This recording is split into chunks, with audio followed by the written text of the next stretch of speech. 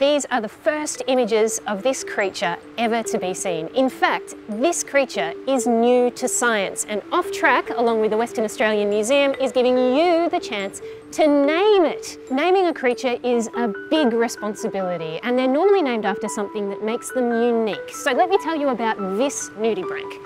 It's a slug about six to eight centimetres long and it's got sausages all over its back and they're ice white and blue with orange tips.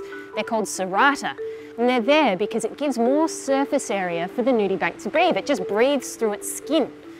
The innermost cerata, those sausages are really, really fat and they're curled over into swirls. When the nudibranch gets scared, it does an aggressive display to scare off the predator. And what it does is it unfurls those cerata and wobbles them about in the water. It makes it look really scary. All nudibranchs are hermaphrodites and almost all nudibranchs have something called oral tentacles that stick out the front. And as they move along the ocean floor, they tap these little tentacles on the ground like a blind person might tap a cane to try and find their way along. So if that gives you enough information about this creature to think you might know what to name it, the entry form and how to enter is below. But if you need more information, more facts, why don't you click on the links above.